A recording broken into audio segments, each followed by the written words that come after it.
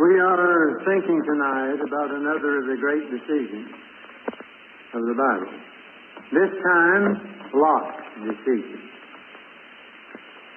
Last night we thought about Abraham. Tomorrow night we will think about Moses, the Lord willing. You remember it says in Hebrews 11 25, choosing rather to suffer affliction with the people of God than to enjoy the pleasures of sin for a season. Now we'll take a few verses out of the Old and also out of the New Testament. Of course, you know you go way back to Genesis for a start here in the 13th chapter, verse 10. And Lot lifted up his eyes and beheld all the plain of Jordan, that it was well watered everywhere before the Lord destroyed Sodom and Gomorrah. Even as the garden of the Lord, like the land of Egypt, as thou comest unto Zoar, then Lot chose him all the plain of Jordan. Then Lot chose him. the old King James way of saying it, and I kind of like that. He's making his own choice, and he was making it for him. And then you go way over to Matthew, in the 17th chapter, and our Lord says, as it was in the days of Noah, so shall it be also in the days of the Son of Man. Verse 26, this is.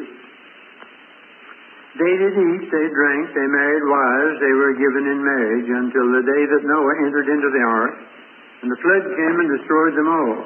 Likewise, also as it was in the days of Lot, they did eat, they drank, they bought, they sold, they planted, they builded, but the same day that Lot went out of Sodom, it rained fire and brimstone from heaven and destroyed them all.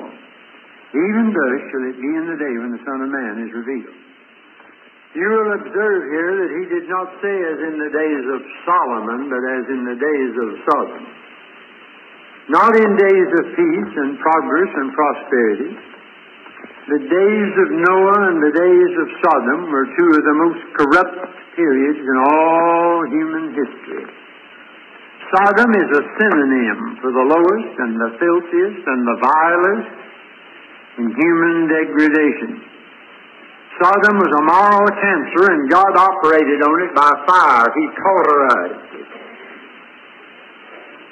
You'll be surprised at how often you run into the word in the Bible. Sodom shows up in Deuteronomy, Isaiah, Jeremiah, Ezekiel, Amos, Zephaniah, Lamentations, Matthew, Second Peter, Jude, Revelation, Isaiah 1.10, for instance. Hear the word of the Lord, ye rulers of Sodom. And really, he wasn't speaking to Sodom at all. Speaking to Israel, but he used the two worst places he could think of to describe his own people. Give ear unto the law of our God, ye people of Gomorrah. Now, the text tells us here that they were engaged in perfectly normal pursuits, but something happened. They were occupied wholly with the temporal and had no regard for the future. Genesis 13:13 says the men of Sodom were wicked and sinners before the Lord exceedingly. Judgment was approaching and the wickedness was running wild and people were living as though there were no God. As it was, so shall it be. And this is a perfect description of today. And if you notice, our Lord did not say, as it was in the days of Noah, they were getting drunk and gambling and committing adultery. Isn't it strange that he just said they were eating and drinking, and marrying and giving in marriage, and buying and selling, and planting and building? What's wrong with that? Well, there's a lot wrong with it if it's all that you do. And if you do it to the neglect of God, that is worldliness. Preachers sometimes get in a kind of a rut preaching on worldliness. I mean the few who do anymore. They don't now much. But there are a few survivors. We have a new word for worldliness now. We call it secularism. Nobody knows what that is, and it lets the preacher off the hook. But for those who still preach about worldliness, it's rather interesting to notice here that this is worldliness in the days of Noah and Lot. Not just card playing, dancing, smoking, and three or four other things. Used to say movies, but all the fundamentalists are going to them now. And as it was, so shall it be. And so it is. When they shall say peace and safety, then sudden destruction. You know, it's always the other way round about with the Christian, what it is in the world. Good news is bad news, and bad news is good news. When they say peace and safety, that's good news, but sudden destruction cometh, that's bad news. But when you see men's hearts failing them for fear, of wars and rumors of wars and all that sort of thing, that's bad news. Lift up your heads. Good news, your redemption draweth nigh. Just the other way round about. People never have talked more about peace and security, never had less of it than tonight. We call sin sickness and wickedness weakness, and we forget or refuse to face it that one day every man shall give account of himself to God.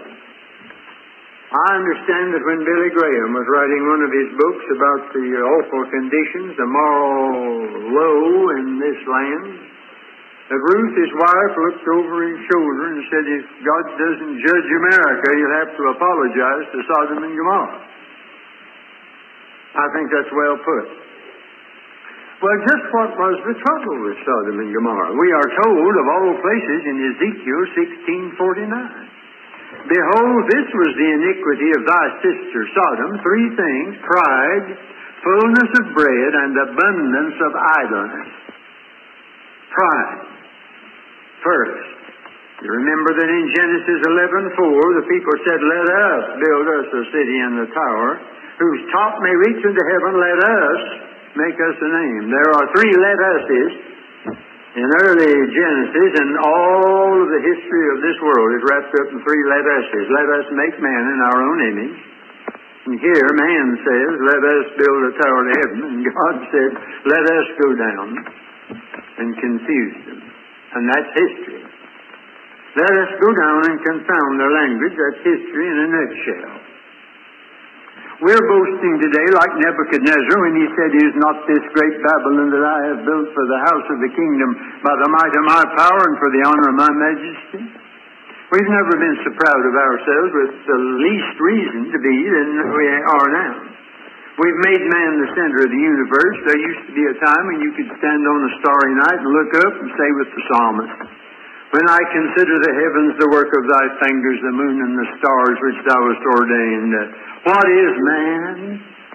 That thou art mindful of him, the Son of Man, that thou visitest him. But now in this day of uh, space travel, we say, when I consider man, what are the moon and the stars? The other way round about.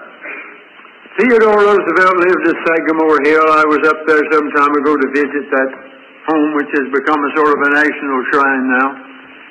Uh, Theodore Roosevelt's one of my favorite American presidents. And a visitor came to see him, and Teddy Roosevelt took him out on the spacious lawn at Sagamore Hill, and they looked at the stars a while. And then the great American said to his friend, Well, I think we're down to our right size now. Let's go back in the house. Helps to take a look in that general direction. But while we try to mount up to the stars scientifically, we mire in the slime morally. Our minds are in space and our souls are in Sodom. And while we've conquered the atom, we've not mastered Adam. And we're still in a world under the dominion of Satan. It was pride that threw him out of heaven to start with. The second trouble was fullness of bread. They had too much. The valley of Jordan was unusually fertile, and of course Lot's eyes fell on it first thing. A superabundance of material wealth. As in the days of Lot, so in America, our technological know-how has produced a surplus of food and commodities. When I was growing up, all a farmer needed was a plow and a mule to operate a little farm. That day's gone. I heard of an old farmer back in those days who was just barely eking out an existence and driving a rattletrap old car. And he started down the road and the thing went dead right smack in front of a mental institution, insane asylum they used to call it. One of the inmates was standing out there, well fed, well clothed, well housed with this institution back of him, and here was this poor, horny handed son of the soil in this dire predicament. And the inmate said, Where do you live? And the farmer said, Down the road. And the inmate said, What do you do? I'm a farmer. The inmate looked back at this nice institution down at that and said, You ever been crazy? No. Well, it beats, he said, it beats farming.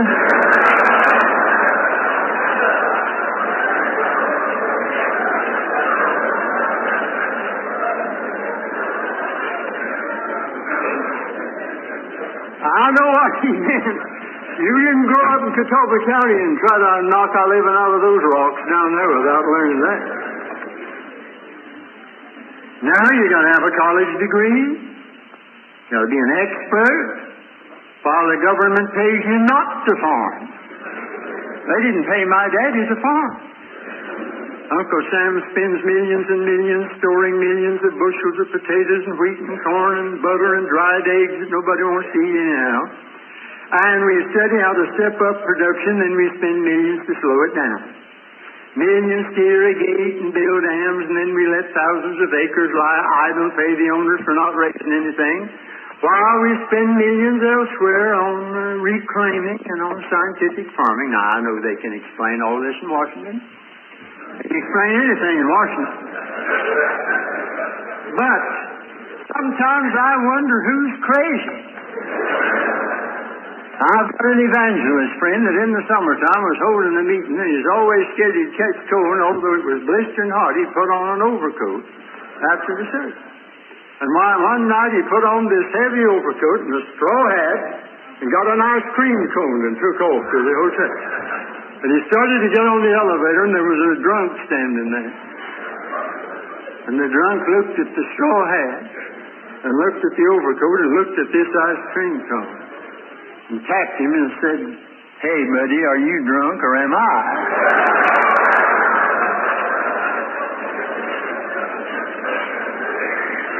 Sometimes I wonder who's crazy today.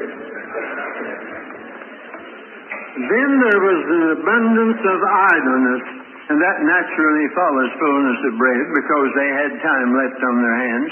This is the most well fed generation. They said there are 40 million overweight Americans. I guess you'd call that round figures, wouldn't you?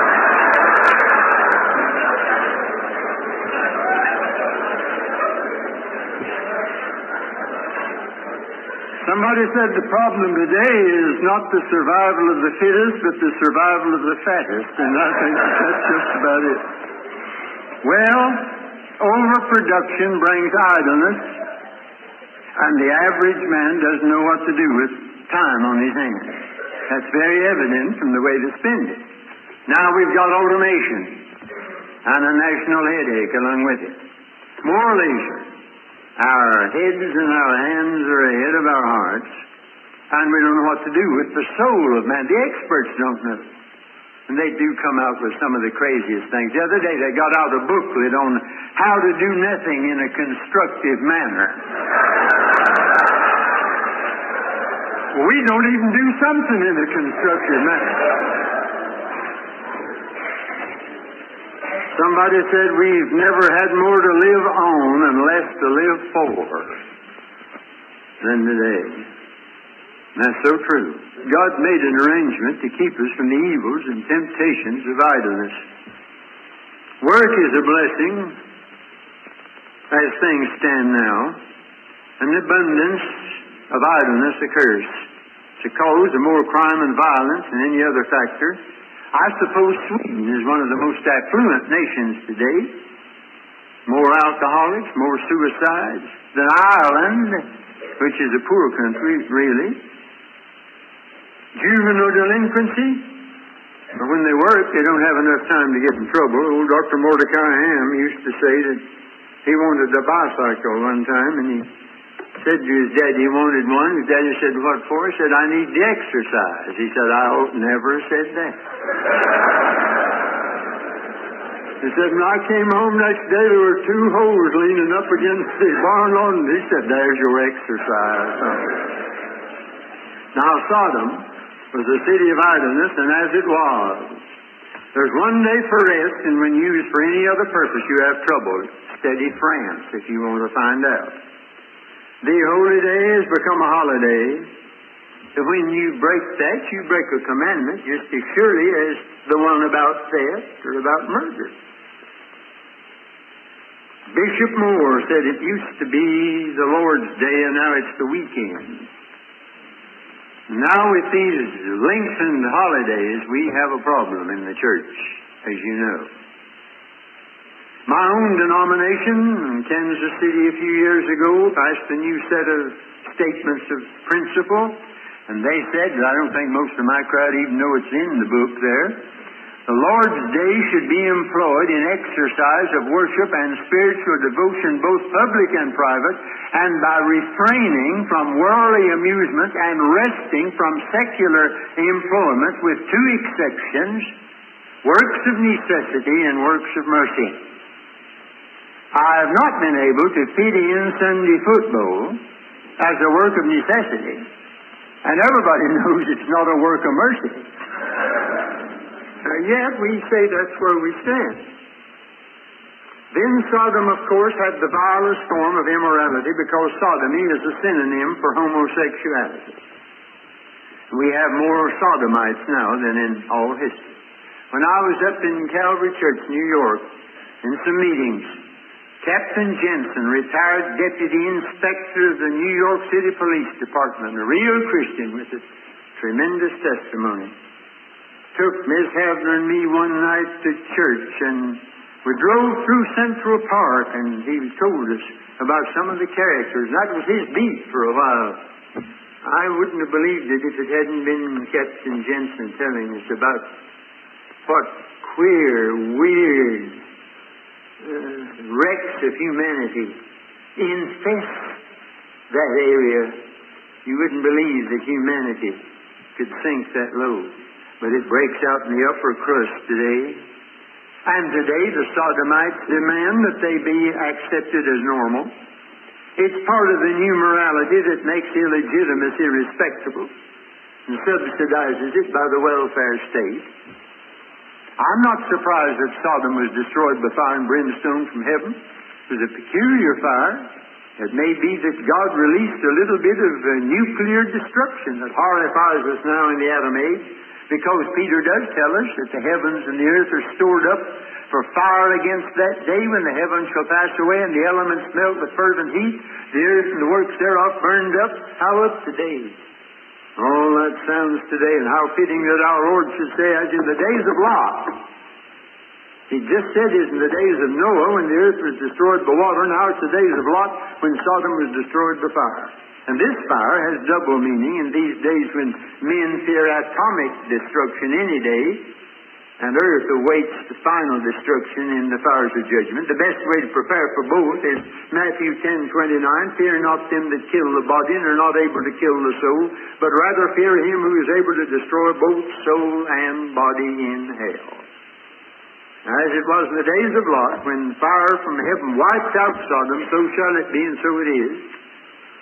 What are we going to do in Sodom? Here we are in this lovely spot tonight. It's hard to imagine that this world's as wicked as it is tonight when you're up at Ben Lippen, unless you take a look in your own heart and discover that the old Adam's as bad as ever has been. It's only the new nature, the Christ Jesus within you, that can be uh, counted on.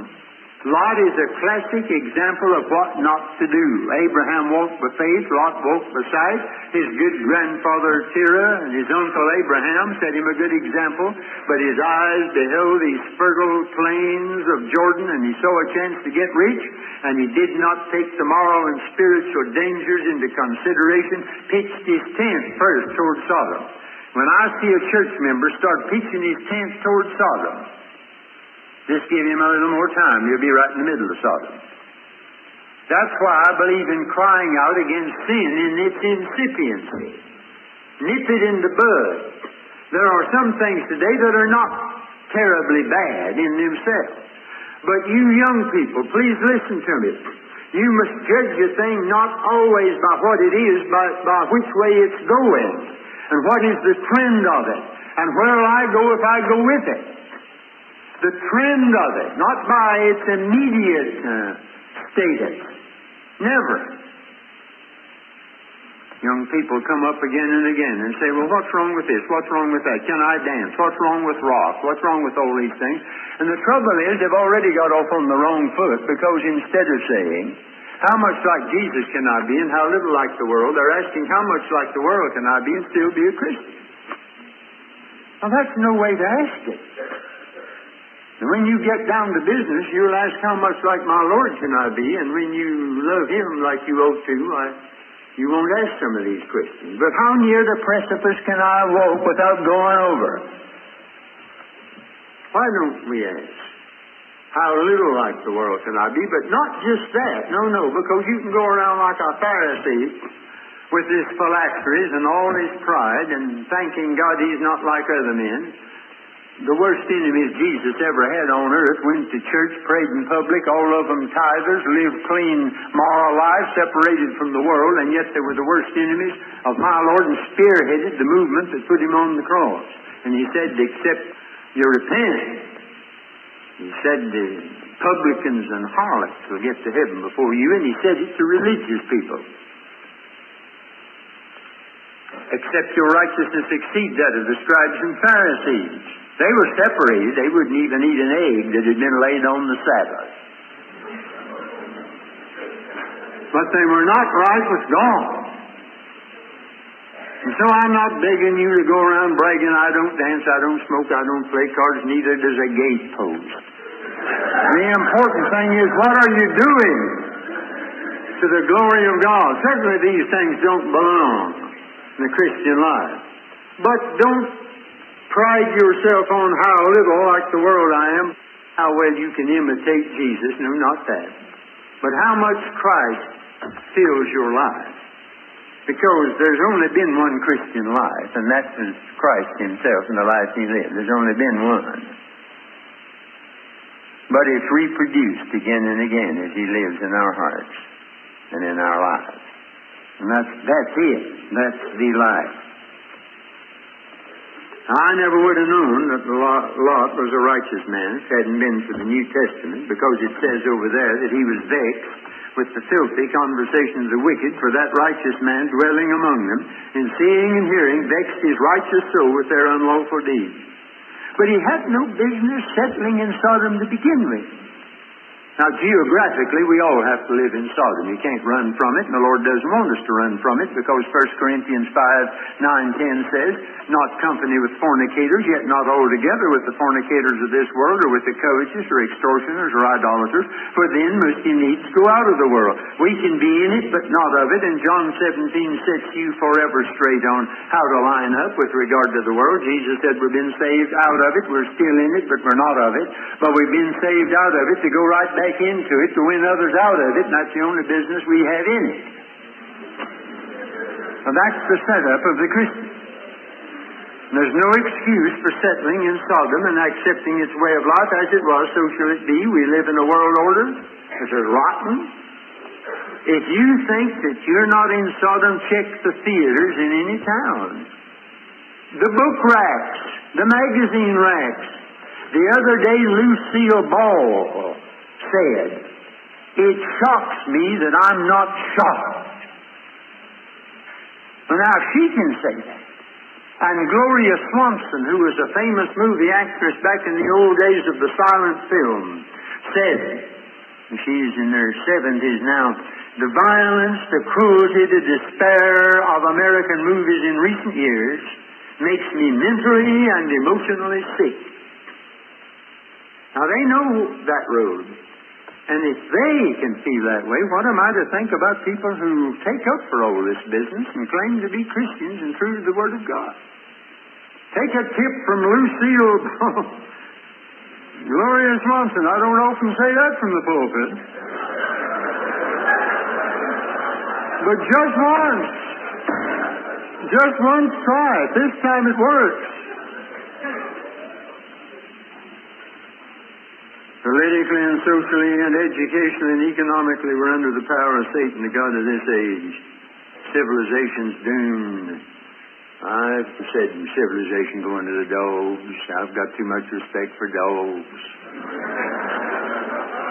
I wouldn't want to insult the canine kingdom with any such a reference as that. We're not here to save civilization. We're not here to save the ship. We're here to save the passengers. The world is not going to be Christianized, but it ought to be evangelized. And God is calling out of this world people for His name. And if you look at Genesis 13, it tells you that God chose Him. That was His choice. Everybody in here lives by making choices. Every day of your life you make decisions from dawn till dark. Some of them are insignificant, maybe, and some of them are profound. You're always making decisions. Why, it'd be interesting to check someday just how many decisions you made in one day. Some of them are rather small, but decisions, decisions. And some of them are tremendously important. If you make your foolish choice like Lot, choose yourself. He chose him. Plain as George. Are you going to let God choose for you? There are some uh, profound decisions that we have to make from time to time. And there's a difference between just bullheadedly and stubbornly making up your mind to do it and to say, Lord, what do you think about it? And if you will make your will known to me, I'll make it ditto and sign the bottom of the contract. What does God want? Do I speak to somebody here tonight that if you're perfectly honest with yourself, you know good and well that you've made a decision that Jesus never has okayed? And you may be trying to live a Christian life and that thing keeps bugging you because you have chosen for yourself what God never chose for you. The man who walks with God can afford to let the men of this world make their choice. Oh, I like that same passage there in Genesis. It says that after Lot made his choice, the Lord turned around to old Abraham and said, Now he's made his, you and I'll have a little talk. Lift up your eyes and look from the place where you are northward and southward and eastward and westward, for all the land which thou seest to thee will I give it to thy seed forever. We can afford to let this old world make its choices. If you let God make yours. The meek shall inherit the earth. Somebody said that's the only way they'd ever get it. Well, we're going to get it. Sometimes I go out for a walk in some of these fashionable areas and I see a very pretty lawn I'd like to walk on and I start that way and run into a big sign, keep out. Keep out. And I say, that's all right, you can have it a while.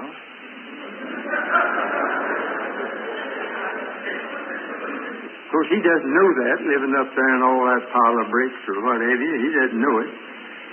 I feel like going in sometimes and saying, friend, you've just got a temporary lease on this place. You maybe don't know it. But the earth is the Lord's and the fullness thereof, and the meek are going to have it. And as it was in the days of Lot and Noah, so shall it be. Even so come, Lord Jesus. Let us stand. Father, if there's somebody who has slipped in here tonight who does not belong to Jesus, may the Holy Spirit speak to them tonight and right now and say that if thou wilt cast thy lot with the Lord and make him the master of thy life, what's his is thine. And that's just about everything. Help us here who claim to be thine own to remember how rich we are. Now, Lord, thou hast never told thy church to get rich, but thou hast told thy church to be rich. We are if we only knew it, because he became poor for our sakes that we through his poverty might be rich. We thank God for the wealth we have in Christ Jesus tonight.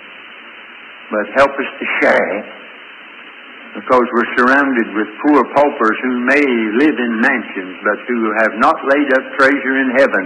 And moth and rust corrupt and thieves break through and steal, and help us to say to them, you better get on the winning side. and make your deposit like Paul who said, I know whom I have trusted, and I'm persuaded that he's able to keep the deposit, which is what he really said, against that debt. Help us to make sure, Lord, of where our treasures are, and may our choices be thy choices, and when we let thee choose for us, we shall not choose amiss. We pray with thanksgiving in Christ's name. Amen. Amen.